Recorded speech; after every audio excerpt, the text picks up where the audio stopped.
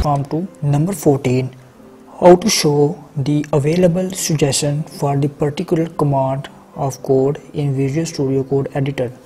If I want to show all the available properties for that particular command just take mouse cursor at the end and press a keyboard shortcut control and then press space. This will show all the available suggestion for that particular property of code